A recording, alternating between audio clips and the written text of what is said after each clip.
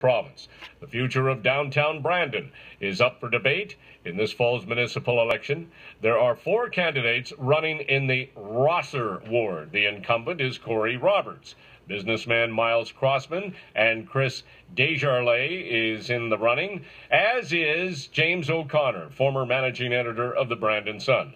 CKLQ Sarah Francis has been speaking with all four candidates. Roberts says when new businesses come to town, space can be an issue. One of the challenges is marketable space. We look at our inventory of what we have to offer and sell with them, and we're getting close to a point where we're fairly landlocked. Crossman says community safety is something that's very important to him. I have three children growing up in the ward. If it's not clean and safe, I have to move because I want my kids to live in a great neighborhood, and I feel I can make our neighborhood great. O'Connor says McKenzie Seeds is important for residential expansion. We also have uh, some housing issues that need to be addressed, and I believe that if the McKenzie Seeds building project goes through, there will be hundreds of people living downtown, which would be a great boost to the area.